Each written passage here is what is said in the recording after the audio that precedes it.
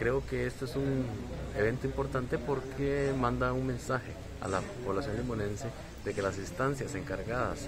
de resolver los problemas educativos están cooperando entre sí. Entonces, eh, independientemente de lo, de lo, que pueda suceder, lo que se pueda acordar, ya el, el evento en sí es eh, provechoso